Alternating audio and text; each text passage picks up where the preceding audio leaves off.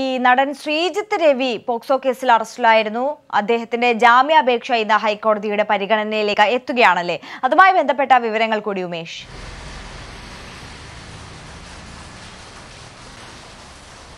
ശ്രീജിത്ത് രവിയുടെ ജാമ്യാപേക്ഷ ഇന്ന് ഹൈക്കോടതി പരിഗണിക്കുന്നുണ്ട്.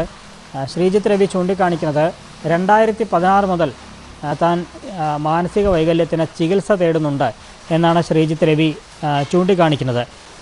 ഇത് കണക്കിലെടുത്ത് തനിക്ക് ജാമ്യം നൽകണം. അതല്ലാതെ ജയിലിലേക്ക് പോകേണ്ടുന്ന ഒരു സാഹചര്യമാണ് വരുന്നതെങ്കിൽ ഈ മാനസിക വൈകല്യം തന്റെ മാനസികാരോഗ്യ നിലയെ കൂടുതൽ വഷളാക്കാനുള്ള സാധ്യതയുണ്ട്.